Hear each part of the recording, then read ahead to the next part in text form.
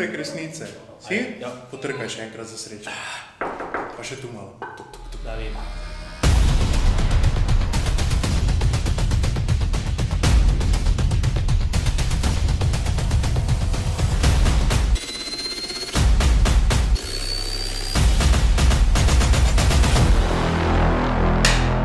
Lepo pozdravljeni že v drugi oddaji s kuhinjo okoli sveta. Nahajamo se v, v studiu male. Še enkrat.